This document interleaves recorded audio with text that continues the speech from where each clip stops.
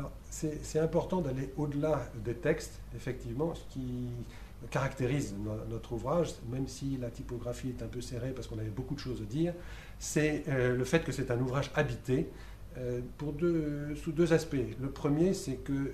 nous avons l'avantage d'une expérience qui commence à avoir quelques années, même quelques décennies, c'est-à-dire que nous avons vécu, Anne et moi, l'émergence de la gestion, l'émergence de, la gestion collective en particulier et la construction de toute la réglementation qui, l'entoure. Le, deuxième aspect, euh, c'est que, ayant cette expérience, nous n'hésitons pas à présenter une vision un petit peu plus personnelle des textes, à commenter ou à suggérer euh, sur certains points où nous pensons que les discussions qui ont été menées à certains moments mériteraient d'être réouvertes ou bien euh, n'ont pas forcément abouti là où on souhaiterait que ça, aboutisse. Alors moi je pourrais ajouter qu'une autre originalité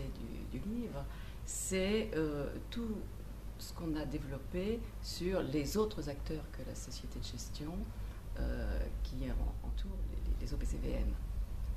et les OPC en général.